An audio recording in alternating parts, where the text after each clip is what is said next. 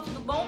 Hoje eu vou ensinar para vocês a bolachinha manteigada com apenas quatro ingredientes. Isso mesmo, quatro ingredientes. Antes de mais nada, já dá um like no vídeo aí que vai valer a pena, se inscreve no nosso canal e siga nas nossas redes sociais.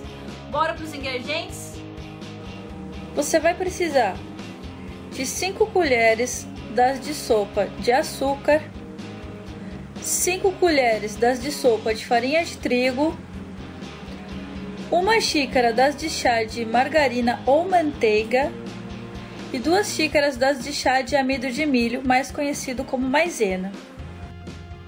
Para quem gosta, você vai precisar de um pedacinho de goiabada, assim pequenininho. Tá.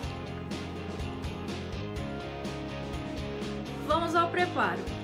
Você vai misturar o açúcar, a farinha e a manteiga. Vai deixar reservado a maisena.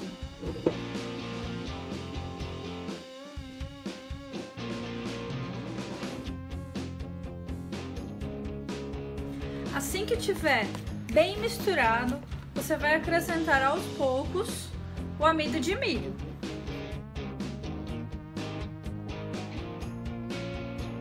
Depois que você colocou todo o amido de milho, vai ser a hora de você utilizar as suas mãos.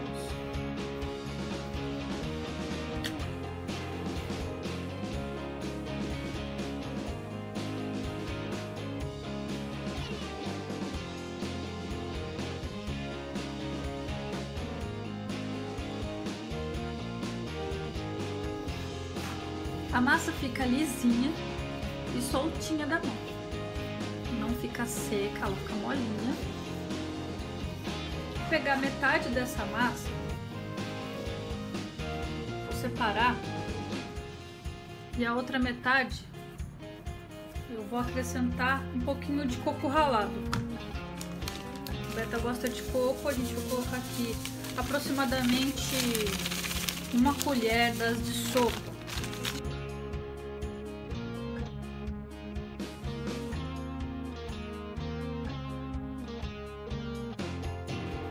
Agora nós vamos pegar uma forma untada e enfarinhada e vamos fazer bolinhas.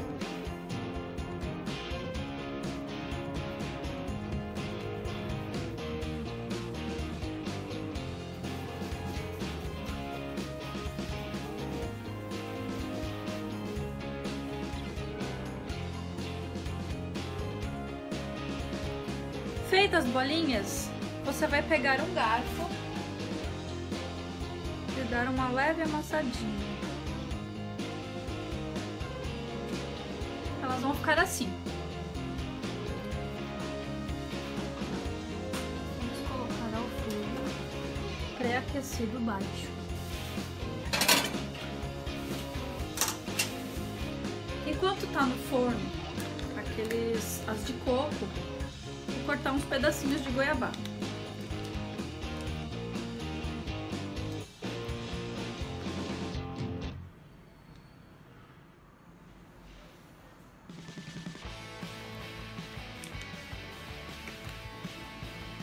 Agora a gente vai esperar ficar pronta a primeira leva. Em torno de 30 minutos depois, as nossas bolachinhas já ficaram prontas. Como é que elas ficam embaixo?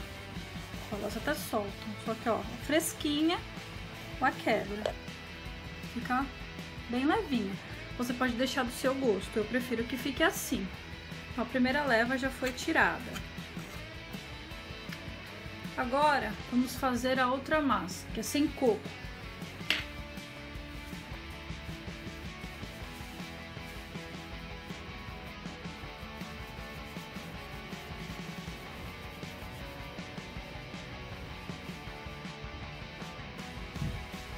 Depois de feitas as bolinhas, você vai fazer diferente. Ou você vai colocar o dedo, fazer um buraquinho em todas elas ou você vai direto com a goiabada e enfia aqui. Prefiro colocar o dedo, mas cada um faz do jeito que quiser. Vamos lá?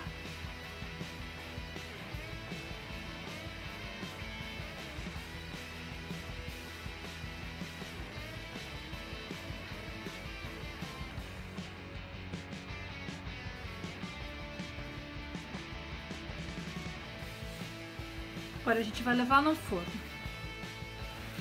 Pronto, agora as de goiabada já ficaram prontas.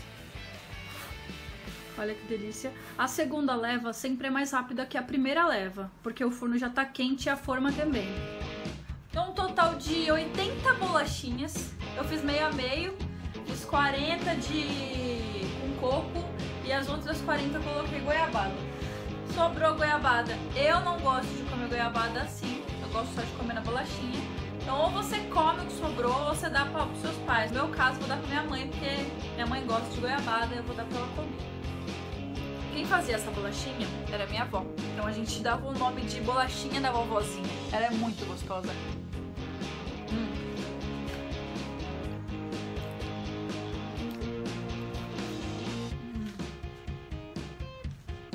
Pode fazer, é uma delícia. A Beta adorou, disse que não ficou muito doce. Então é isso aí, pessoal. Espero que tenham gostado. Faça essa bolachinha em casa, vale a pena. Deixa o like, se inscreve no canal Tô falando com a boca cheia assim, tá muito gostosa. E até a próxima.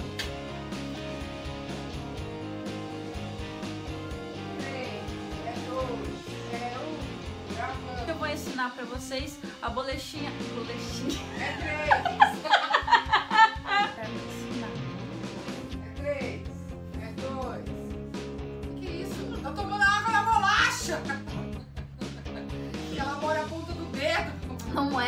Refrigerante. Nossa, gente, eu tô comendo aqui. Hoje eu vou ensinar pra vocês a bolanchinha. Eu não consigo! São. Gente, ela vai ensinar a bolachinha! é... Não, eu tô aqui tentando gravar. E aí a pessoa tá lá comendo brigadeiro. Cada vez que eu tô gravando, tô comendo uma. Ou seja, acabou. Se eu comer, se eu gravar 40 vezes, vou comer todos os lojinhos.